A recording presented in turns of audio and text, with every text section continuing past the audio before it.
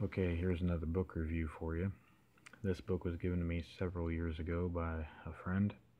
I believe it is out of print, but you might be able to find copies on eBay. And for historical information, it's pretty inter interesting read. Um, excuse me. It is third edition that I have here, which was published see. Original copyright was 1948, it looks like.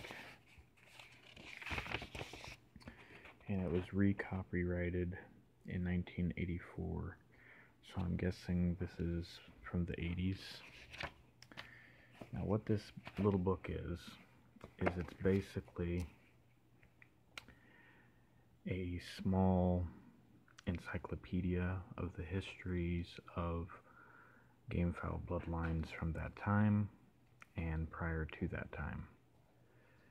Some of the information is pretty sparse, others it goes into great detail. Basically, whatever they could find on those bloodlines.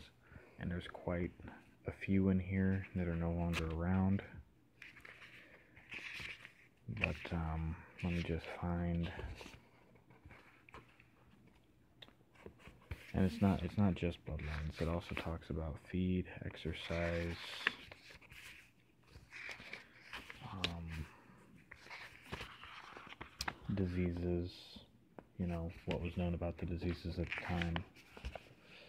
But in regards to bloodlines let's see here. So opening it up to random page here. We've got Thompson Whites, Stone Walls, Smoke Balls, Staying Wizards, Log Cabin Sid Taylors.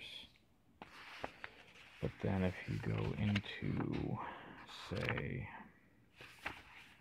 here we go, Red Quills, it's got more information. Texas Rangers, Georgia Shawlnecks.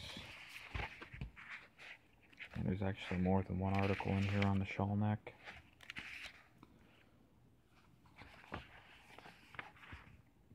So I think there's three on Shawlnecks, uh, Shenandoahs,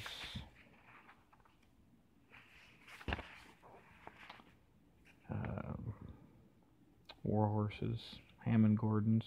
The interesting thing about these Hammond Gordons, I actually had a guy contact me looking for some here in the last couple of years to add to his bloodline, and as far as I knew, they died out a long time ago, but apparently he still has them.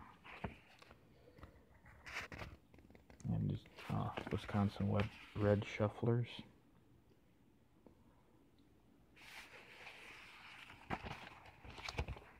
Now this book doesn't really have pictures to speak of. It's pretty much all text. But if you are someone who's interested in the histories and um, just the cultures surrounding gamefowl, for example, here's a poem by Ed Bentley who wrote under the pen name of Straw Shaker in the old magazines. It is a uh, very, very interesting and useful read. So, W.T. Johnson's Breeders and Cockers Guide. Thanks for watching.